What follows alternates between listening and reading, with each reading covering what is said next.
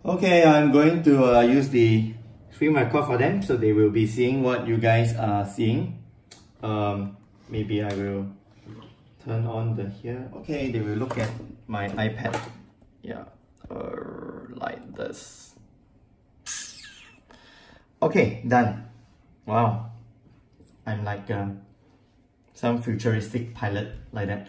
Okay, so we are on waves. So uh, you should be able to recall what we have done. We have played with slinkies and we say that uh, this chapter wave is about energy transfer and we are talking about energy transfer over a medium or we can also transfer energy through vacuum like the case of radiation.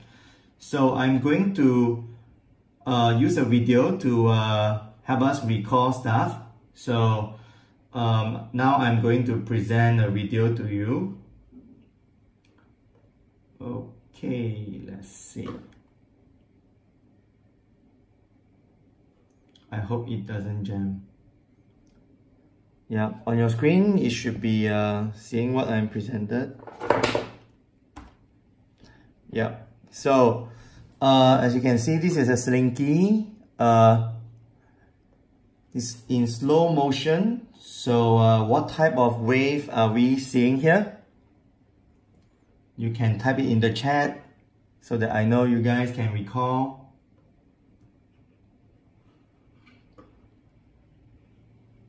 No one, no one is typing anything. Then uh, let's see. Let's get uh, oh okay, here comes the responses. Thank you. Yeah, so this is a transverse wave and as you can see that uh, the wave is uh, moving away from you but the vibration of the slinky is in this direction up and down. So we say that the direction of vibration and the direction of wave motion they are perpendicular. Okay so this is transverse wave and I'm transferring energy from one end to another so let's look at another one, which is this. So this is a slow motion of the longitudinal wave. And as you can see, the energy is being transferred. Uh, now it's bouncing back. And now it is going away again. So the direction of the vibration is along the slinky and the energy is transferred along the slinky as well. So we say that uh, this is basically a longitudinal wave. Okay. What happened to Sitong? Oh, any of you didn't see the uh, the Slinky video? Sitong cannot see anything. Uh. Okay, you know why? Okay, you click on the people tab, right? You look for TSZ. There should be two TSZ now. One is called presenting. You should click on the presenting TSZ.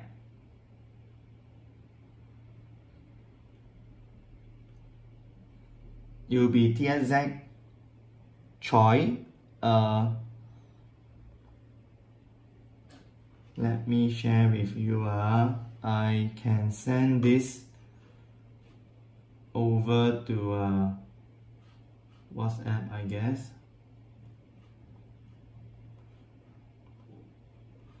Okay let me settle.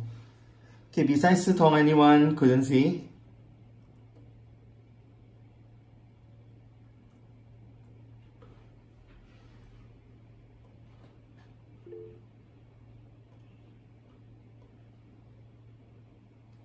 Uh, it's okay. For those not in the call, I am uh, recording the lesson for them. So it's fine. So anyway, let's carry on. If not, uh, we'll be uh, running out of time.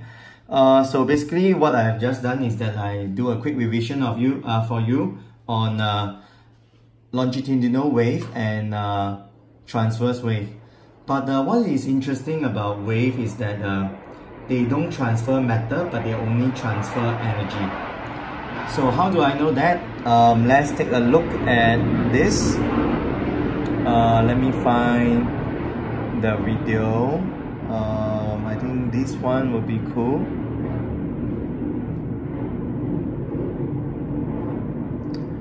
So, as you can see, uh, what type of wave am I showing you? L wave or T wave? You can type it in the chat.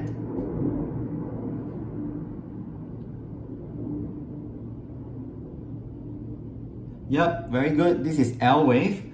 And uh, I want you to uh, focus on, uh, oops, sorry. Let me go back to, I want you to focus on, let's say this red line, okay? And then I want you to focus on this concentration of lines, like they are coming together. So you can see that uh, these lines that are coming together, they are moving from left to right. But if you are focusing on the red line over here, you can see that the red line is just oscillating, right? It is moving left, right, but ultimately it is not moving away, right? It is staying there. It is just that when these lines are moving together as an L wave, it looks like the wave are moving. The wave is moving, right? The compression here is moving, but the individual lines, they are just oscillating. So in this case, we say that the wave, it only transfer energy because it transfer the kinetic energy from one end to another, but it does not transfer matter. So we can see one more real life example, like uh, here. So this is a swimming pool, uh, water, so uh, it is very crowded in the summer. This is in Japan. So all these people, they are actually swimmer in a giant swimming pool. And uh, why is this swimming pool so popular is because they will generate waves, huge wave. And uh, if you are in it, you will feel the wave crushing through you in a safe way. Right? So let's make a hypothesis. Now I have a bunch of matter on a medium, which is water. And later on from the far end over here, they are going to generate a transverse wave. Now, if wave carries both energy and matter, what would we expect to see?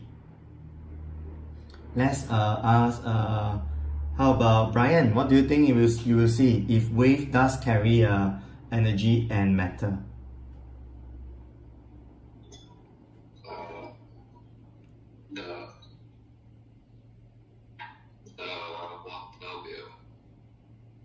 The water is the medium. So the matter we are referring to, we are referring to the swimmer that is on the medium, which is the human being. The human being will move out their original position. Yep, okay, so that is one hypothesis. So down here, the water is the medium. So when we refer to the matter, we are not referring to the water, we are referring to the things in the medium. So in this case, the thing that is in the medium is the human being.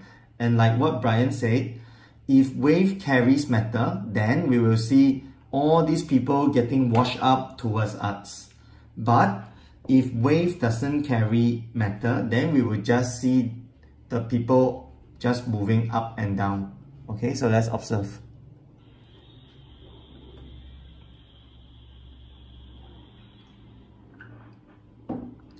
So you can see down here, near the screen, near the bottom of the screen, you can see that the human are just moving up and down along with the crest of the wave, but the human didn't get pushed away, right? It is just moving up and down like how a transverse wave should behave. So this is one important property of wave that it only transfer energy, but the matter that is on the medium will not get trans transfer. So it is like uh, this case. Okay, so in this case, I put a small ball on uh, on a sink. Okay, and uh, I'm going to generate wave by uh, disturbing the medium, which is the water. So you can see it is just wobbling the ball didn't get pushed away. Yeah? So this is the second property of matter that uh, of wave that you need to uh, remember. Uh, I can show you one more, I think. This one. This one is pretty cool. So uh, uh, this happens a few years back, uh, 2015, when there's a tsunami hitting uh, Indonesia. So when the earthquake came, uh, basically earthquake is also energy being transferred through wave, but then the medium become the earth. So this person uh, is in the pool and you can see that uh, when the wave come, the wave didn't carry him away, but instead oscillate him like up, down, left, right, center. So here comes the wave and as you can see, uh, he's trying to swim away, uh, but if he decided to just try to float himself, uh, he won't be able to go anywhere because uh, the wave will not carry him away. Yeah, uh, or you can see this. Um, here you go. So uh, if wave does carry matter, then this entire bridge will be washed away. Okay. And if you are still not convinced, I will show you the pizza. Okay, basically the pizza will just be, oops, floating, it won't move, it will just go up and down. So uh, you may ask me, teacher, but then uh, when I was, uh, you know, in the in the in the beach, and then uh, you know I'm uh, floating away, and then I realized that uh, I got pushed towards the shore. Uh, that is due to the tide, it's not due to the wave. So uh, if we are just analyzing wave alone, a wave will not carry matter, it will only carry energy. It, it, I mean transfer energy. Okay, so next, uh, let's look at our worksheet. Um, let's see. Oh, okay, I still have this. I think this one will also convince you the same thing. Oh, sorry, sorry, not this. This is for later. Okay, so let me toggle back. Okay. Yep. Okay, as of now, uh, we are just dealing with the basic property of wave. We learned that there are two types of wave, T wave and L wave. Uh, they are characterized by how the medium vibrate um, when the wave travels along. If it is perpendicular, it is T. If it is parallel, it is L. And then uh, we learn from the videos that wave only transfer energy and it does not transfer matter. Okay, so now what I'm going to do is that uh, let's go back to uh, our worksheet so uh, I'm now going to switch off this camera and uh, you need to go to the people tab and uh, look for and look for Danny Choi okay? So I'm going to turn on Danny Choi screen which is my iPad and then you will see what is happening on my iPad rather than this webcam. Okay so now please look uh, pin the uh, Danny Choi's screen on your browser and now I will switch off this webcam and the mic so let me turn this on. Um here I go.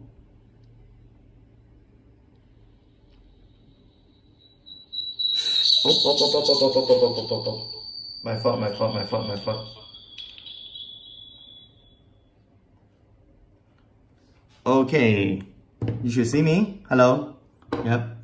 And uh, I'm going to screencast uh, my screen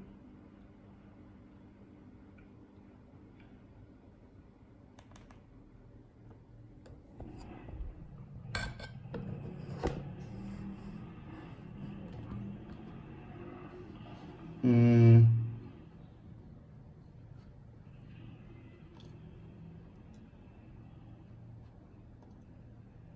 Are you seeing uh, stuff?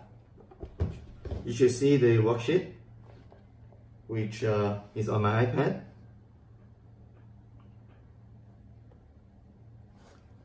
Um, Could you type yes or no if you are seeing my OneNote? Type yes if you are seeing it, type no if you are not.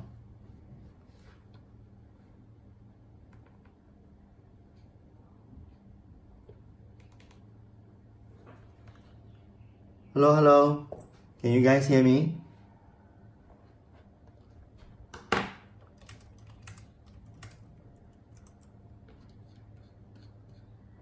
Oh, okay, okay, okay, okay. The chat doesn't automatically move. Okay, so we are going to fill up the uh, first page, the basic stuff. And then uh, after that, um, we are going to deal with some questions and uh, all. So let's look at page one. Let's fill it up together. So uh, now we know that uh, what is a wave? Basically, a wave is what we call a phenomenon that transfer energy and it does not transfer matter. So this is our main definition and uh, you would need to memorize that sometimes the test will ask you. And then uh, we know that wave uh, will be categorized into these two, T wave and L wave. When you are defining or explaining uh, what type of wave it is, like uh, for example, they may ask you, they may give you a scenario of a kind of wave and then they will ask you like, uh, can you identify what type of wave it, wave it is? And can you explain your answer? So when they ask you to identify and explain, to explain, you need to focus on the two directions over here. We are talking about the direction of vibration versus the direction of wave motion. So if you look at the uh, direction of vibration and the direction of wave motion, if they are perpendicular, then we say that this type of wave is transverse. So this is actually the explanation on how you identify a wave in your exam. Okay, and you need to know that uh, what are some examples. So an example of transverse wave is your water wave the other one is what we call your EM wave, electromagnetic wave. Uh, an example of electromagnetic wave could be your light. Okay, so uh, when we go into EM wave, then we will talk about how light is a transverse wave. But for water, I think most of you would agree with me if you disturb the water, the water is going to move up and down and then the energy is going to transfer, uh, transfer, transfer away. Okay, so what are the uh, key descriptor of your transverse wave? Um, you need to always mention the two directions and perpendicular. So I think here, you don't need this. Okay, it is kind of redundant. Okay, just memorize this, this point, the example, and the explanation will do. Okay, for L wave, L wave is similar. We are talking about direction of vibration and we are talking about the direction of wave motion. And to qualify itself as a L wave, they have to be parallel, the directions. Okay, some of you in your exam, you may want to write uh, L wave a wave whereby the vibration is parallel to the wave motion. This will give you zero mark. You cannot say vibration is parallel to wave motion. There are a lot of property of vibration. For example, frequency of vibration, uh, magnitude of vibration, direction of vibration. So you need to be very specific and let me know that you are focusing on directions. Okay? So I warn you already, huh? in your, now you don't have mid-year exam. Meaning that whether you promote or fail or retain depends on your end of year. Okay, even your term test is cancelled now. So it is kind of scary. Okay, so down here, example is just your sound wave. In your syllabus, there's only one example of L wave. Can? Then down here, this one I need you to study on your own because you just need to read it. It's just some definitions. So uh, let's talk about the units first. So all these parameter is how we are going to describe our waves. Okay, for example, direction of wave, amplitude of wave, wavelength of wave, frequency of wave. All these are how we describe waves. Uh, it's similar to temperature, it's similar to, you know, uh, height, weight, velocity, acceleration. All these are just parameter. So you need to know is uh, SI unit. Frequency is in Hertz. Frequency is actually something very easy to understand. It just means that how many wave is produced in one second. Okay, so um, how many wave is produced in one second? No, here. Okay, then uh, wavelength uh, is measured in meter because it is wave length, right? So anything to do with length, it is in meter. So what is wavelength? Well, it is just one crest to another crest. Okay, this word over here, if you do not know what it means, it means that in a transverse wave, in a T wave, the peak here, this thing is called a crest. Okay, you guys go and find out what do you call the minimum point. Okay. Then after that, you will have your period. Okay, period, it means that the time taken to generate one wave. And since we, and this is basically just time taken, oh, sorry, I write the wrong thing. This is just the time taken, it means that it must be seconds. Therefore, like that. Yeah, last one will be your amplitude. And uh, amplitude is just a measure of height okay but there is something uh, uh, interesting. Amplitude will indicate to you the amount of energy carried by a wave.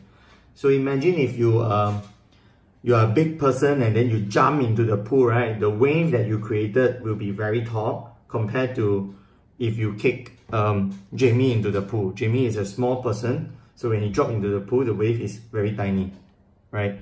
So um, the height of the wave, we call it amplitude, refers to the amount of energy generated.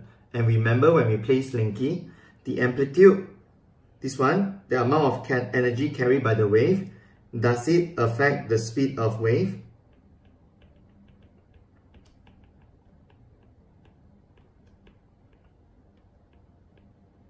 Yes or no? Come, chat chat.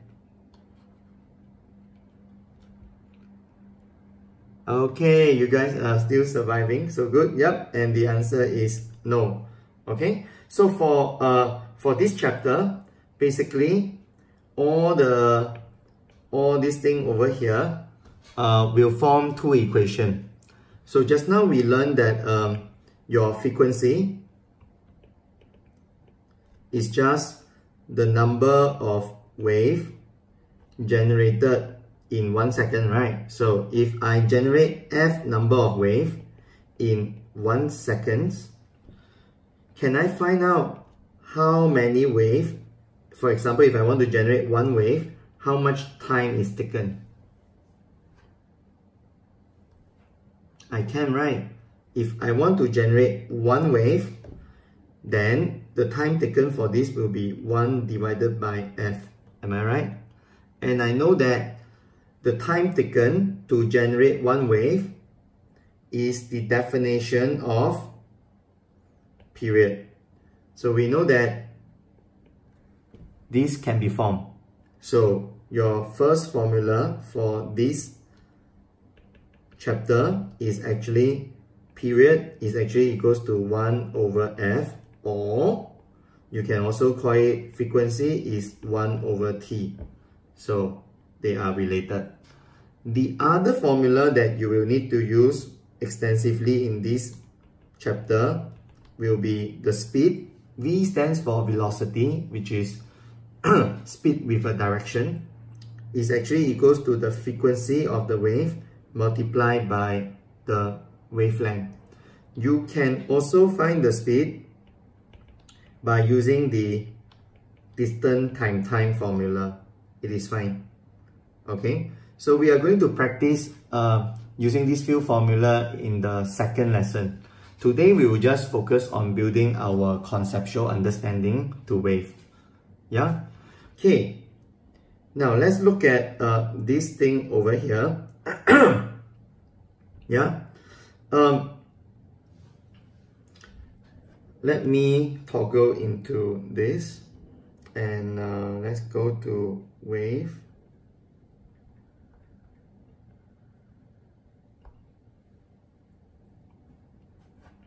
um, no end um, oscillate. Too fast. Yep. So this is a wave. Uh, it is appearing quite choppy on your how about now? Still very choppier but better right?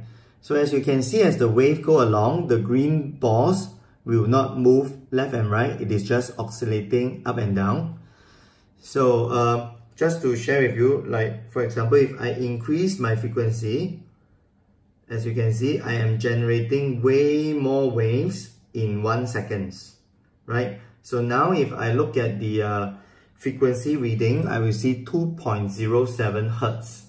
What does that mean? It means that in one seconds, how many waves will I generate? 2.07. Yeah, I can even up it a little bit to 2.44. So now it means there will be 2.44 wave generated in one second, right? This amplitude down here will change the amount of energy I am transferring in the wave. Yeah, so you can see that the speed of the crest moving away is similar. Can you see? You focus on how fast the crest is, the, the peak, how fast the peak is moving away. Even if I change the amplitude, the peak, the speed at which the peak move away is about the same. So let's see, uh, let's move this. So let's focus on the first peak. Oh, sorry. Let's focus on the first peak. I will measure the time when the first peak is being generated and that peak move out of the window. Okay? Three, two, go.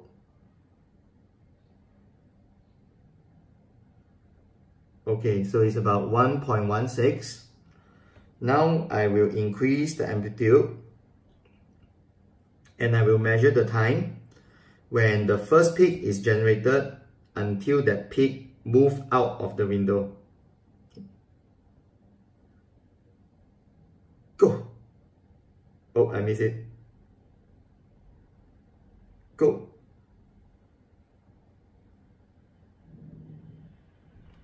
Hey, hey, hey. So it is about the same, about one point something. That is due to my fat fingers, unable to press the right button. Okay, so down here what I'm trying to convince you is that two points. Uh, the medium, which is now the balls, they are only vibrating up and down. It does not get carried away by the wave. Number two, the amplitude will not affect my speed. And uh, number three, the meaning of frequency is just the number of wave made in one second. Okay? And uh, now I see the chat uh, from Ziwei. Yep, you are right. I think I make a blunder there. Uh, yep, down here, sorry. is a distance equal to speed time time. Thanks. Okay, so uh, how would uh, O-level ask you?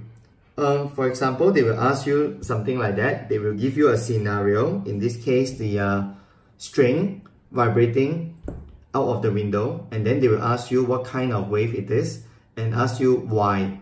Why is it a transverse wave? So to answer that, you need to identify two direction.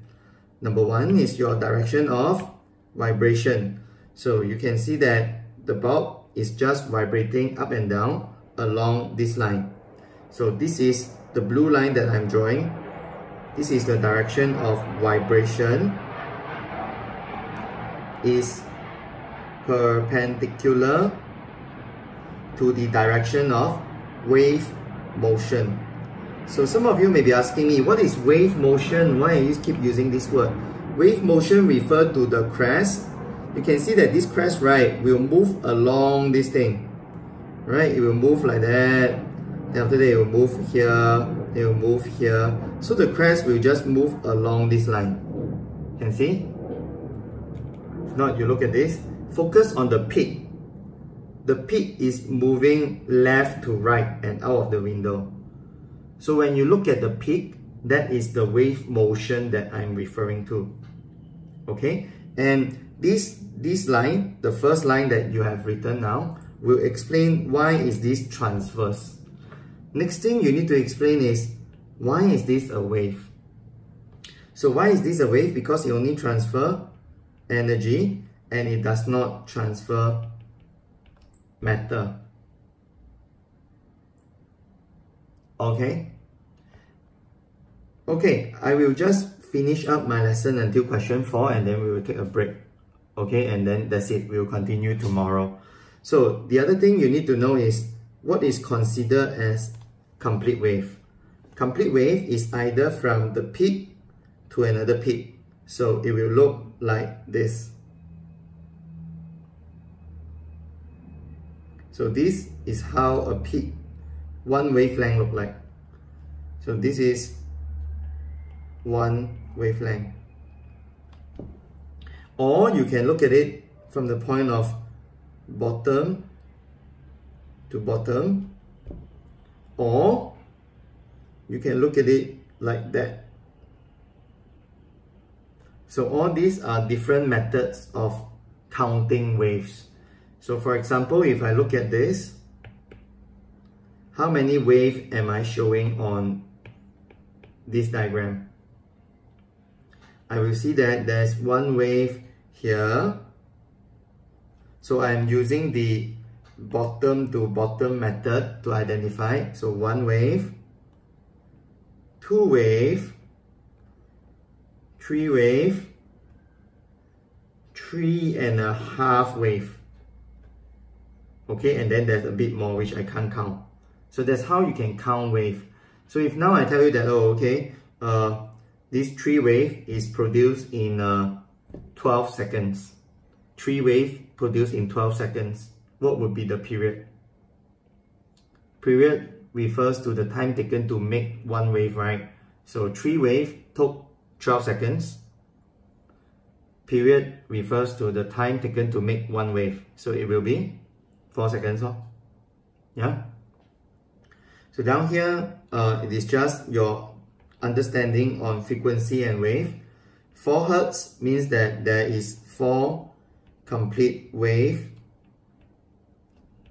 made uh, a form in 1 second. A period of 10, it means that it takes 10 seconds to form one complete wave. Can? So today, just to recap, we talk about the nature of wave, uh, that it transfer energy and not matter. We also talk about how to identify T wave and L wave. And then after that, we I show you a example on T wave in greater details. Yeah. Then we try one O-level question and then after that, we learn how to uh, identify a complete wave, either from peak to peak, bottom to bottom. By the way, uh, all these peak to peak, bottom to bottom in exam, you cannot use. You have to call it crest and the other word you're going to find out. Okay? Or you can find from the undisturbed position, one, two, three. So between three undisturbed position, that will also form one complete wave. Yeah? So tomorrow I will see you at about the same time, but uh, we will skip the attendance taking. Um, then we will look at uh, longitudinal wave and uh, we will do a quick summary and then we will try some questions on calculations. Okay? And uh, any question, you can now turn on the mic and uh, ask questions if you like or if you want, you can type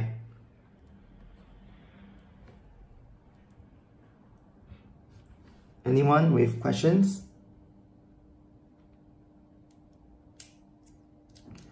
Okay, if not, then uh, that's it. I think that's the end of your first day of HBL. And uh, bye-bye. I will send you a survey link so that I know how you feel about all this.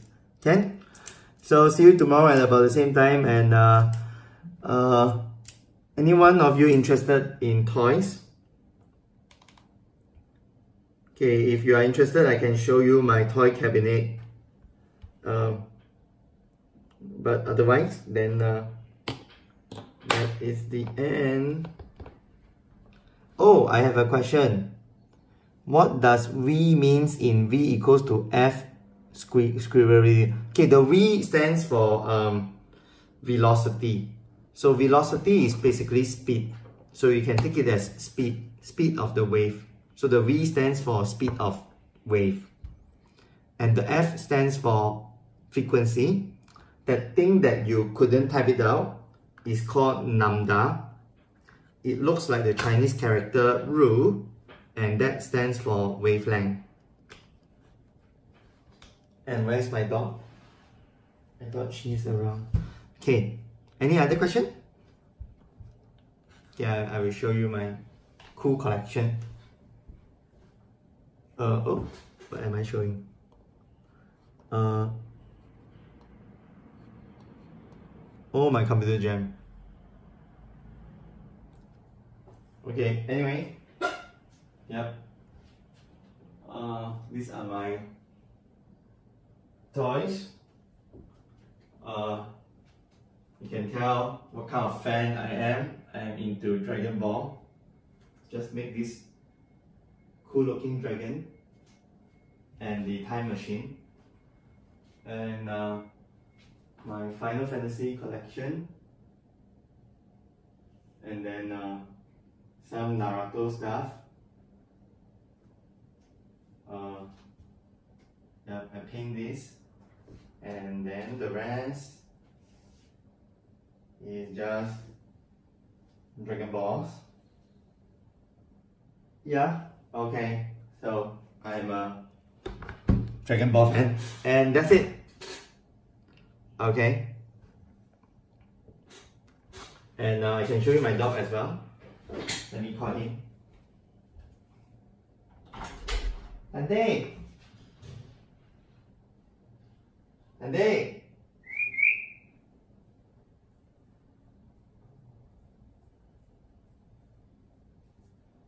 Yeah. Auntie and uncle want to see you. Say hi. Yeah. Okay, that's my dog He's sleeping and then his bone is here. Say hello.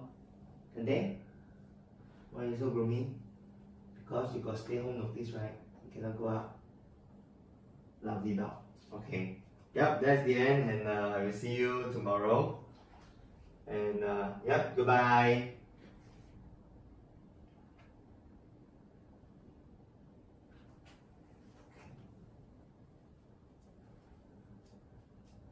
Yeah, this is super cute.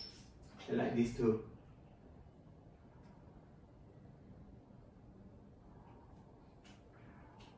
Okay, bye bye bye bye.